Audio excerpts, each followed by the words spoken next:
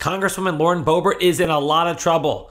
Even the Rupert Murdoch owned Wall Street Journal says so. Let's discuss. I'm Dave Aronberg, state attorney for Palm Beach County, aka the Florida lawman here on the Meidas Touch Network. You may recall that Lauren Boebert is the most endangered sitting congressperson in all of Congress. In her last election, just two years ago, she only won by 546 votes, which was the smallest margin of any member of Congress. And her opponent from last time, Adam Frisch, a Democrat, was running against her again, and she decided to tuck her tail and get out of town. You know what they say when the going gets rough? Mm, find another district. Because that's what she did. She moved districts to a different part of the state so that she can run. She's running in a more conservative, redder district than before.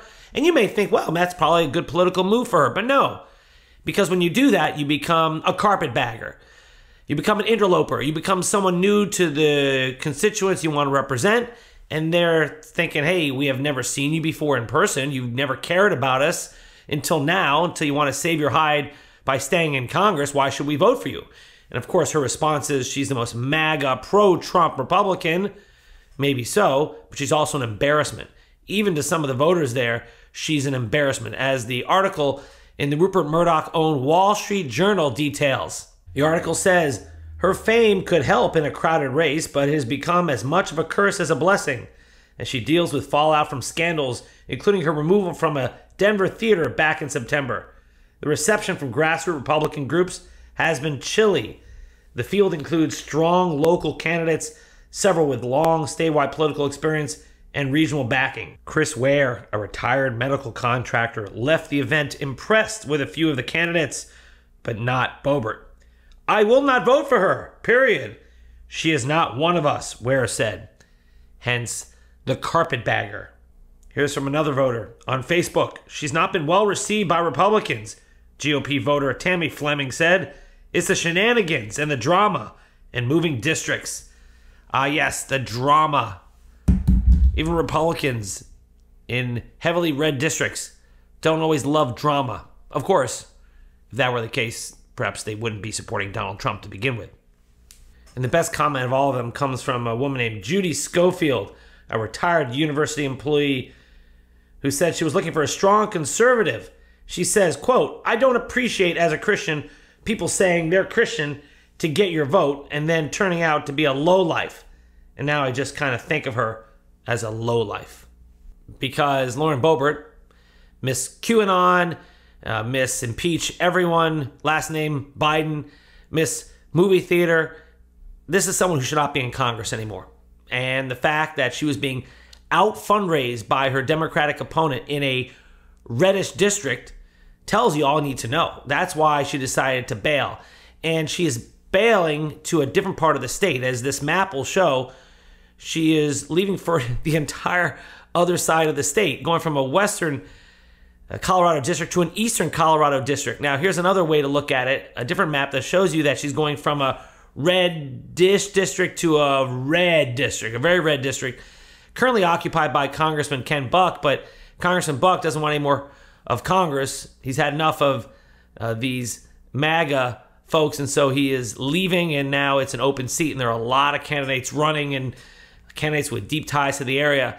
Just because Lauren Boebert is the top fundraiser in the race, because after all, when you are an extremist, you have that energy to raise all this money, low dollar amounts from people all across the country who think of you as a hero because you stand up for their leader, dear leader Donald Trump.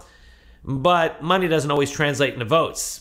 She was getting out fundraised by her Democratic opponent, and now, even though she has the most money in her new race, she's being hammered by all sides on this one as someone who has no interest in the people of the district, is just there just to stay in Congress. Wow.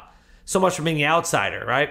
And we cannot talk about Lauren Boebert without talking about the infamous scene in the theater. Yeah, the theater where she went to see Beetlejuice, the musical, and got so caught up in the music, she was singing along, bothering the people around her, where people were asking her, the neighbor behind her was asking her, please quiet down. Of course, she didn't listen. She was vaping inside the theater. And that was the least of her problems. She was doing other things, things that we really should mention in a PG video here for Meidas Touch. But Uh, something that we all know that this is now what she's being identified with. She is someone who acts inappropriately in Congress and acts inappropriately in a theater. Her date, by the way, was a Democrat, a guy from Aspen, who now she blames for uh, the whole situation, saying she's not going to date any more Democrats, as if he was the instigator here. And then, of course, just to top it all off, the gratuitous middle finger to the uh, people at the movie theater. That's your member of Congress, Colorado. And now they have a chance to undo the mistake by defeating her in November. And she's not going to have an easy time. And now she's got Rupert Murdoch's Wall Street Journal profiling her and not in a positive way. Take it from me, I've served eight years in the Florida State Senate, now I'm in my 12th year as state attorney. And when you run for office, even if you are the most extreme in a primary where it's a winner take all and it's a low turnout primary that will be on the Republican side, still, if you're a carpetbagger, if you just moved to town, you're not going to have much of a chance. And I know Lauren Boebert has a national name, but her name stands for as much embarrassment as anything else.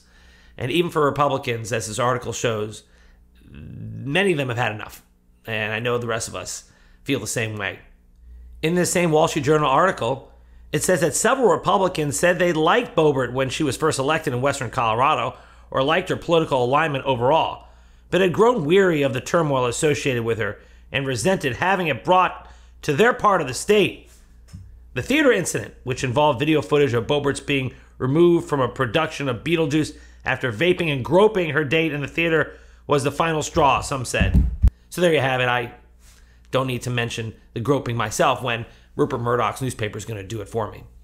So, yes, Lauren Boebert, who was acting inappropriately in Beetlejuice, who couldn't even uh, be polite to the person behind her who was asking her to stop vaping, to stop uh, videotaping, to stop singing along. She did everything improper in that theater. And in the end, she blamed everyone else but herself. Until finally, after enough pushback, she finally apologized and blamed it on her divorce and saying that she would never vote for or never date a Democrat again. By the way, shame on that Democrat. What were you thinking? I mean, really, if you ever see Lauren Boebert's name on your Tinder uh, account, swipe left, okay? Even if it's not Tinder, whatever you're using, swipe left. Not a good idea to, to date Lauren Boebert. So we'll see what happens in November. But as of right now, it looks like Lauren Boebert is on her way out of Congress. And for a institution that already has very low approval ratings, uh, getting rid of Lauren Boebert is addition by subtraction. So there you have it. I'm Dave Aronberg, State Attorney for Palm Beach County, aka the Florida Lawman. In a world of Florida men, be a Florida lawman. All right, that came from Brett Meiselas. Thank you, Brett, for that great tagline. If you like this video, please like it and subscribe, and I'll see you next time. Love this video? Make sure you stay up to date on the latest breaking news and all things Meidas by signing up to the Meidas Touch newsletter at meidastouch.com slash newsletter.